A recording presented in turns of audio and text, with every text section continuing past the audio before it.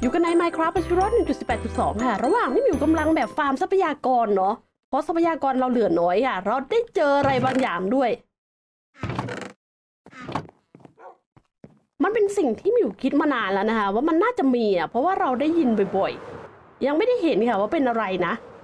นี่ไงล่ะ ว่าแล้วต้องเป็นซอมบี้อะ เพราะว่ามิวได้ยินซอมบี้ร้องตรงนี้แบบเยอะมากอะ เฮ้ย นายเก็บของของเราไปเพื่อน เจ้าเก็บไปเท่าไหร่หกสิบสี่เลยค่ะ คือได้ยินเสียงซอมบี้ขู่คำรามตรงนี้ตลอดเวลาก็เลยเดาว่าน่าจะมีค่ะ เออ มีจริงด้วยแฮะโหเดินออกมาฝั่งทางด้านนี้ได้เลยค่ะ แต่ตรงนี้มันไม่มีอันเป็นเดิลไมชาร์ปนี่ แต่ก็ยังมีกรงสปอนมาให้เราเนาะยอดเยี่ยมจริง ๆ เฮ้เฮ้อยู่ตรงนี้ไปเลยพักพวกแผ่นซีดีค่ะ music ที่ชื่อว่า Cat แล้วก็ของนิดๆหน่อยๆค่ะทางถ่ายทรัพยากรกันแล้วกันค่ะ เพราะว่าขาดทรัพยากรเยอะมากๆเลย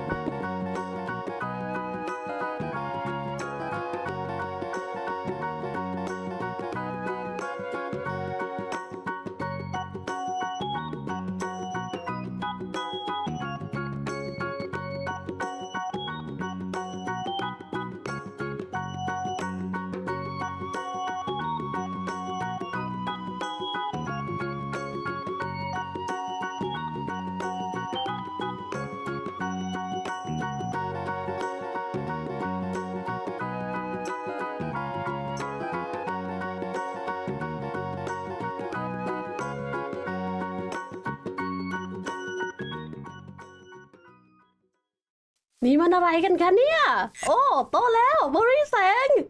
มาแล้วอ้าวตัวนี้ยังไม่โตไม่เป็นไรค่ะ ตรงนี้เราตั้งชื่อมันว่าสะพานบริแสงโอ้โหเป็นสะพานที่ก่อสร้างนี้ลำบากมากเลยค่ะลำบากตรงเสียงเนี่ย เวลาวางทีมันดังเป้งเป้งเป้งเป้งเป้งโอ้โหอย่างแสบแก้วหูมาก ไม่ไหวจะเคลียร์จริง ๆกำลังทั้งตีเหล็กอะทางเดินลงก็ทำแล้วนะเฮ้ยถ้าเรานั่งเรือลงอาจจะลงก็ได้ ทางลงมีบางอย่างที่น่าสนใจ วางไปวางมา แล้วก็คราฟเรือค่ะ มีคุณผู้ชมบอกว่าใน Minecraft มือถือค่ะ เวลาคราฟเรือต้องใช้พลั่วด้วยนะ เออ เป็นไม้พาย แต่ Minecraft คอมไม่ได้ใช้ค่ะ เฮ้เฮ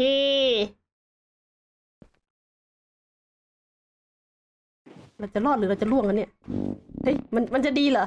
มันจะดีเหรอ เฮ้ย มันก็ได้ โห ไม่รู้สึกอะไรเลยค่ะ อ้โหเออ จะทำให้มันลำบากไปทำไมคะถ้าวางเลยหนีเราก็ไป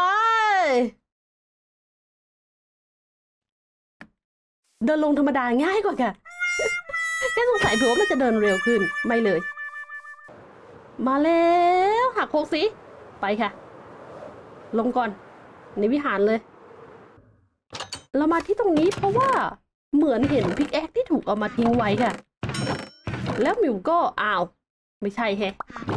มันหนูคิดว่ามันน่าจะมีนะ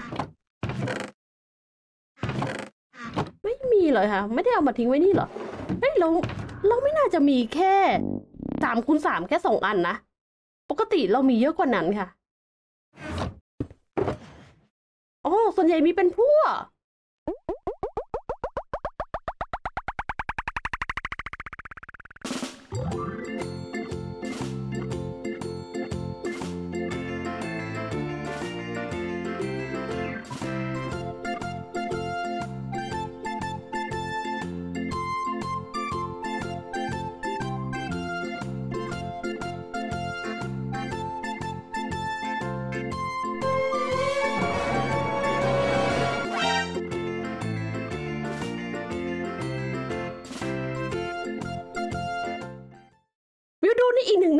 นึ่าจอค่ะเหมือนหมิวกำลังแบบกำลังกำลังเดินบนอากาศค่ะจริงเฮ้ยนี่นี่เราเดินตรงนี้ค่ะ เราเดินตรงนี้เลยนะแต่นี่อีกเจ้าหนึ่งค่ะ เหมือนหมิวกำลังเดินบนอากาศเออเออเฮ้ยอะไรนี่เราเราไม่ได้เดินบนอากาศอะมันมีบล็อกนั่นไงมันเป็นบั๊กอะไรไม่รู้ค่ะ แก้ยังแก้ไม่ได้เลยอะ จะให้ถอดออปติฟายออกก็เดี๋ยวซูมไม่ได้อีกอะโอ้โห มันหาอะไรไม่รู้อะเห็นแล้วเฮึเหมือนโดนบนอากาศสร้าง โอ้เปล่าค่ะเปล่า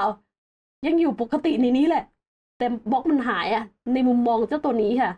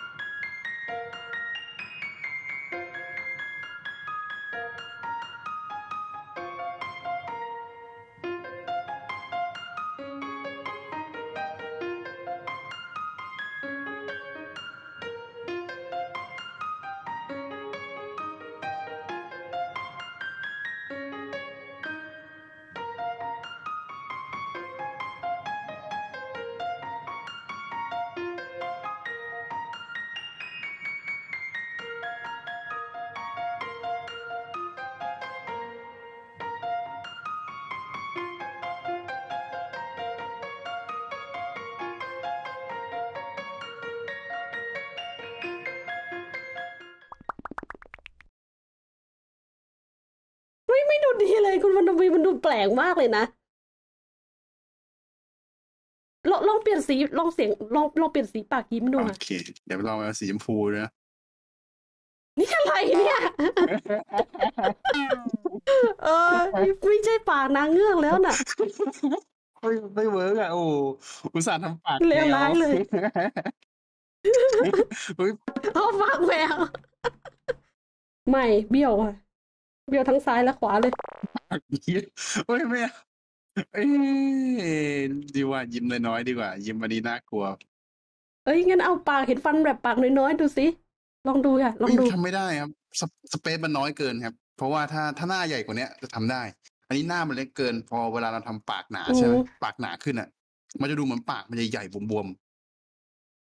เออก็ดูดีอะ ก็ดูดีแต่ไม่เห็นฟันก็ก็ดูดีอะแบบนี้ก็ได้อะง่ายดี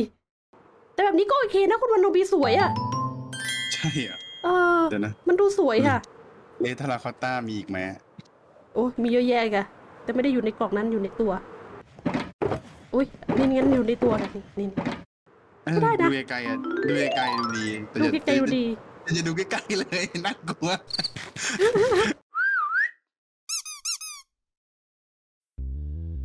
เรายังไม่ได้คิดเลยนะคะว่าจะให้แบบนางเงือกถืออะไรอะสองมือก็ถือได้หรือไม่ถือก็ได้ไม่แต่ถือดีกว่า ปล่อยให้มันมือโล่งๆไปนั่นแหละเดี๋ยวนะ ไม่ตรงด้วยเปรี้ยวไม่เหมือนเลยเฮ้ยล่วงล่วงเดี๋ยวดูไกลๆก่อนเผื่อจะเห็นภาพเฮ้ยเล็กไป โอเคต้องใหญ่กว่านี้ นี่นี่ก็เล็กไปเหรอคะฟังทางเนี้ยนี่มันคือการประกวดงานศิลป์อย่างนั้นนะ มันคือการสร้างชุดชั้นในยังไงให้ดูเป็นเปลือกหอยอะใช้ผ้าคาดหน้าอกเลยไหมจบเลยค่ะ เปลี่ยนสีเอาผ้าคาดนี่ easy เลยนะประตูถ้าผ้าคาดอะเอาก็เหมือนชุดว่ายน้ำไงที่เป็นผ้าคาดน่ะอ่าฮะแล้วเอาเชือกไปคล้องที่คอไว้จบอะเออเฮ้ยคิดไม่ออกเหมือนกัน แบบนี้เหรอ เฮ้ย แบบนี้ก็ดีนะอืมใหญ่กว่านี้หน่อยค่ะให้ขึ้นถึงข้างบนหน่อยให้ขึ้นอ่าปิดไปล้ำเลยอะ ข้างบนเลยเขาบอกแล้วผ้าคาดอกตั้งแต่แรกก็จบเลย เชื่อเถอะเฮ้ยลองก่อนไง อันนี้ลองอันนี้ลองเอออ๋อผิดผิดพลาดก็แค่ โลทิ้งแค่นั้นเองหางมันเล็กไปค่ะ ต้องทำหางให้ใหญ่ขึ้น วางโครงไปแล้วเหลือแค่ชั้นสองค่ะ สีที่เราใช้ก็คงจะเป็นสีเดิมค่ะ ก็ prismarine เนาะชั้นแรกก็เป็น prismarine brick ค่ะ แล้วชั้นที่สองก็เป็น prismarine ธรรมดา แล้วชั้นต่อไปก็จะเป็นสีขาวแล้วก็ตามด้วยสี light blue ค่ะ นั่นแหละ ก็ใช้ได้ค่ะ คือยอมรับเลยนะว่านางเงือกตัวนี้ค่ะ เป็นการสร้างที่แบบรู้สึก ไม่ไหวจะเคลียร์มากๆค่ะ เป็นการสร้างที่เครียดมากๆเลย ยอมรับเลยค่ะ การสร้างนางเงือกเนี่ยเป็นอะไรที่แบบเครียดมาก ใช่ใช้สมองเยอะมากเลยค่ะอ้าวร่วง เพราะมันต้องประมวลผลเยอะค่ะ มันเป็นครั้งแรกที่เราสร้างในโมเดลแบบรูปแบบของมนุษย์ไง ทีนี้ก็ต้องมานั่งคิดหนักเลยค่ะ ว่าส่วนนี้จะต้องโค้งยังไงดีทำยังไงดี ขนาดปากทำยังไงดีอะไรอย่างเงี้ย ยังคิดเยอะค่ะ เส้นผมทำยังไงดี โอ้โห เป็นครั้งแรกค่ะแล้วยอมรับว่าเครียดมากๆเลย จะเรียกว่าเครียดอย่างนั้นก็ไม่ใช่อะ มันเรียกว่ามันใช้สมองเยอะค่ะ ต้องประมวลผลตลอดเวลา เรียกว่าใช้สมองตลอดเวลาที่สร้างอะแต่พอเป็นส่วนหางที่เราเคยสร้างแล้วครั้งหนึ่งใช่ไหมคะก็เลยรู้สึกแบบเออผ่อนคลายขึ้นเยอะค่ะ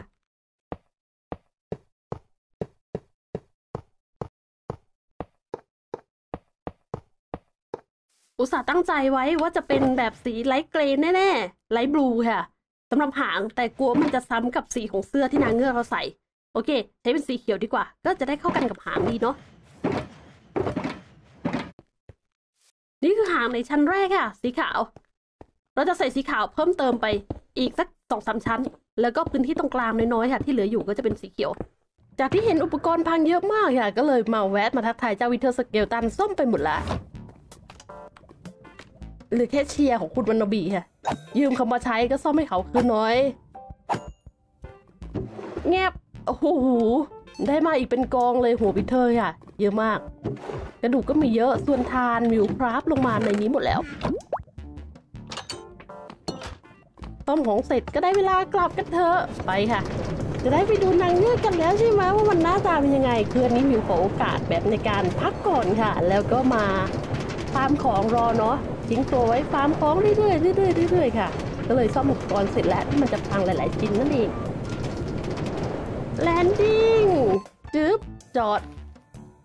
นิสัยดีทุกครั้ง เก็บรถ minecart ด้วยค่ะ มันจะได้ไม่ขวางคนอื่นเขาเพราะคนอื่นมาปุ๊บก็จะกดเป็นอย่างเงี้ยใช่เพราะกดแล้วมันจะวิ่งค่ะ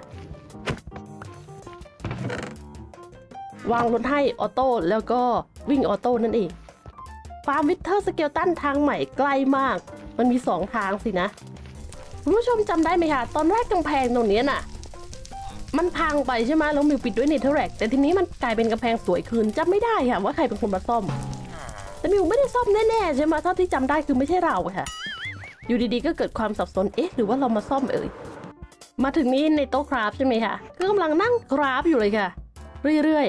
ๆทั้งตีเหล็กค่ะ คราฟมาทำไมตั้งมากมายขนาดนี้ แหมตกแต่งค่ะ เป็นรั้ว เราก็จะวางอย่างนี้ยังไงล่ะ นี่ โอเค เดี๋ยวขออนุญาตวางให้เสร็จก่อนค่ะ เสียงมันดังแสบแก้วหูมากเลย ว่าแล้วว่าไม่ได้นอนอะ แฟนทอมมาเต็มเลยกำลังจะบินมานอนค่ะไอ้นายติดเหรอ จะเลี้ยงไว้ในนี้ก็ได้นะ เฮ้ย ไม่ไม่ไม่ไม่มันเสียงดังหนวกหูค่ะ เอาออกเอาออกเอาออกถ้าหมิวไม่ยิงตอนนี้คุณวันธมีมาก็ยิงเหมือนกันเนี่ย ยังไงนายก็ตายแน่ๆ เราก็จัดการเลยแล้วกัน เอาล่ะกำลังทำเส้นทางวางต่อค่ะ ปิดเสียงวางเลยนะเสียงเอฟเฟกต์เกมค่ะเพราะมันดังจริง ๆ ดังมากเลย เป็นไงคะเฮ้ยมันดูแบบเป็นขอบถนนได้พื้นสีนี้ใช่เลยค่ะ มองใกล้ๆอาจจะแปลกแต่บินมองอย่างเงี้ยเออ ก็ดีนะ คิดไว้เลยค่ะว่ามันน่าจะดีก็ดีจริง ๆ ด้วย ต้องรวยเหล็กจริง ๆ นะ ถึงจะทำแบบนี้ได้ เราจะล้อมไปเรื่อยๆค่ะ แน่นอนว่าปิดเสียงเพื่อวาง เราจะล้อมไปเรื่อยๆแบบนี้ค่ะ แน่นอนมิวปิดเสียงไปแล้วเพราะเสียงมันดังเป้งเป้งเป้งเป้งไม่ไหวไม่ไหว ปิดไปเลย โอ้ยอุ้ยอุ๊ยตกใจแหมเขาบอกว่าเขาไม่ได้คว้างเขาโดนลากเชือกอย่างนั้นไว้ตั้งนานแล้วใช่ไหมเออล่ามเชือกเลยจูงไว้ตรงนั้นแหละ ตอนแรกมันถนนมันโค้งใช่ไหมคะแล้วหมิวรู้สึกว่ามันไม่สวย เลยปรับให้เป็นถนนเส้นตรงแล้วกัน เวลาวางทางเดินอะไรอย่างเงี้ยจะได้สวยค่ะ ก็ปรับไปนิดๆหน่อยๆโอเค ตรงหมดแล้ว ตัดเส้นทางใหม่เรียกว่าอย่างนั้นก็ได้นี่ค่ะตรงแต่ตรงนี้มันจะเป็นแค่สองช่องเนาะเพราะว่ามันชนค่ะ ชนชนกล่องที่อยู่นี่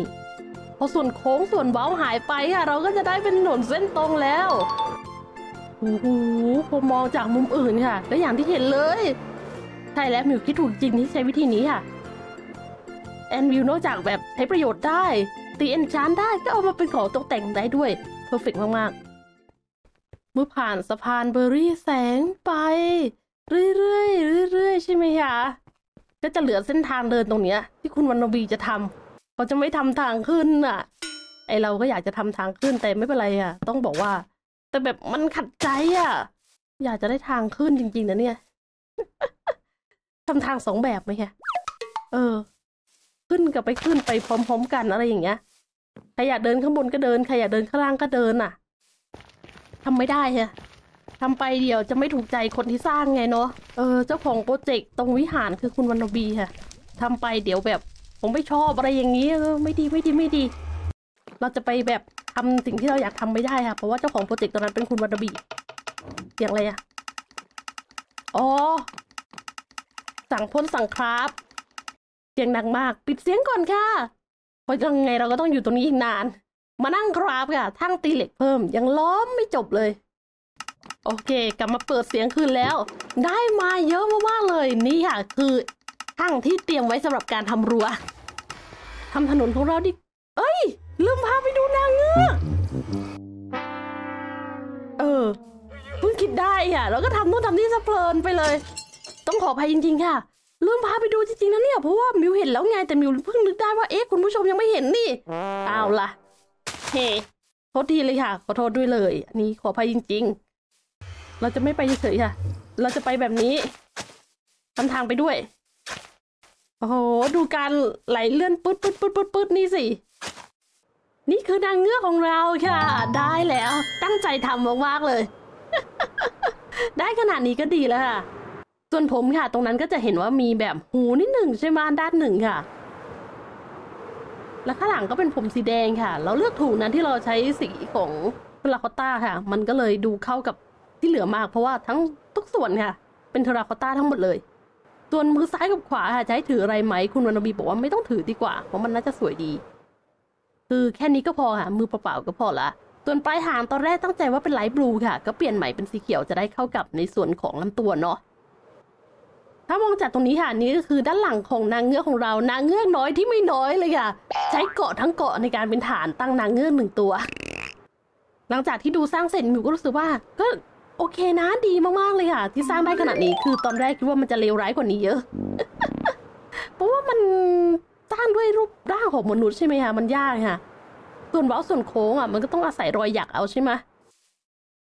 ได้นางเงือกมาขนาดนี้มิวว่า perfect แล้วดีแล้วค่ะ ก็โอเคนะ ยอมรับว่าประทับใจค่ะ เป็นการสร้างครั้งแรกได้ขนาดนี้ดีสุดๆแล้วแหละ